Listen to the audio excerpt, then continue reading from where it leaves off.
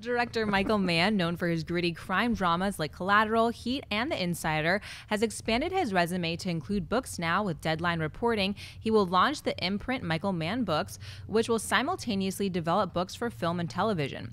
The first book to move project to movie project will be a prequel to his 1995 crime thriller Heat.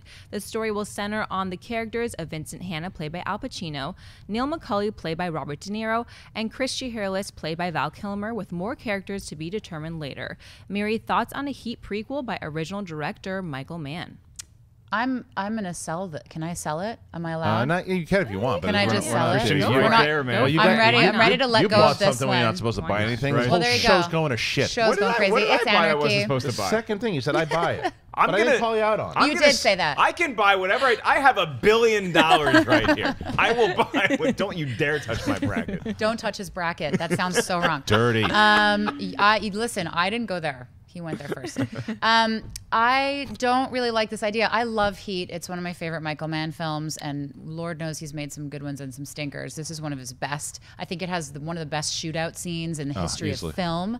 Um, and these are some of the now most iconic characters in a crime thriller I think that have ever existed. And I don't think I'm I'm exaggerating. I don't really like the idea of a prequel, even if it's Michael Mann at the helm, because if they're going back far enough, these guys are old now. They're gonna have to cast like a whole new cast of characters. I'm assuming.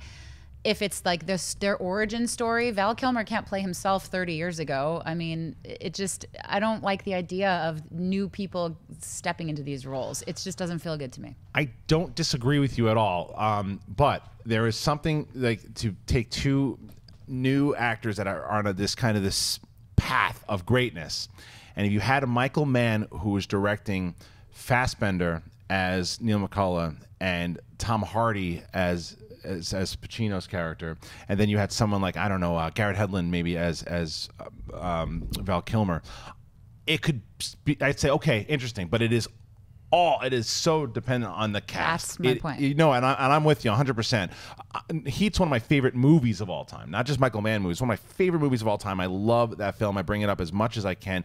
Great shootout, great scene. I had coffee with McCauley half an hour ago. Like uh, so many great lines in that movie. I love it. Um, but I just don't. I think it's risky. If he has a tale to tell, Michael Michael Mann, then okay, great. But you have to get the perfect, not even an okay cast, the perfect cast to pull it off. Yeah, and it's Michael Mann, and he's not like you know he did Miami Vice. That's so. true. You Mark, This is a buy for me, man. If you no think buy, you're selling. if you think you can if you think you can cast a young Han Solo correctly and you think you can cast a young Indiana Jones correctly, you can certainly cast De Niro and Pacino from Heat. It's a really, really good movie. I enjoy the hell out of it, but I'm not going to be sitting there watching a prequel to Heat that takes place 20 years before the original and be like, ah, well, he doesn't really, he looks taller than Pacino. Why doesn't he just Who write the new story If it's a great story, then I want to see the movie. I'm not going to be so locked in. But if you really want people that look like the elder statesman that we have currently, Val Kilmer,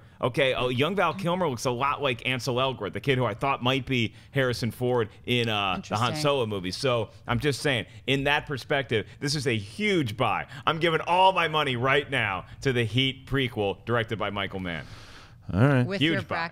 Hey guys, if you like this clip, click here to watch the entire episode. Also, make sure you subscribe to our YouTube channel because it'll help you stay up to date with all the stuff we've got going on here at Collider.